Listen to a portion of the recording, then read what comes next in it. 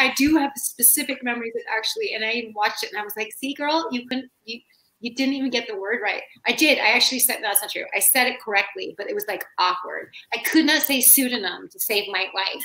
And I remember vividly going, suit, like I couldn't get it. I'm like, Susan, pseudonym.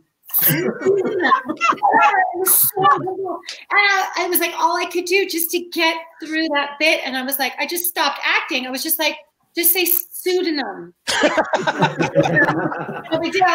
Like, even though I, I didn't use a pseudonym, like even in the character, she like says it weird. And I was like, oh God, I just, it, like, it took me all out of it. I'm like, all I can see now is acting. Oh, just, like, think about. Hmm. Just don't get fired. You know what I mean?